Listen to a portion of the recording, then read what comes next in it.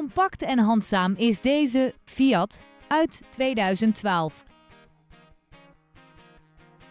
Met de pittige benzinemotor en de handgeschakelde vijfversnellingsbak manoeuvreert u moeiteloos door het verkeer.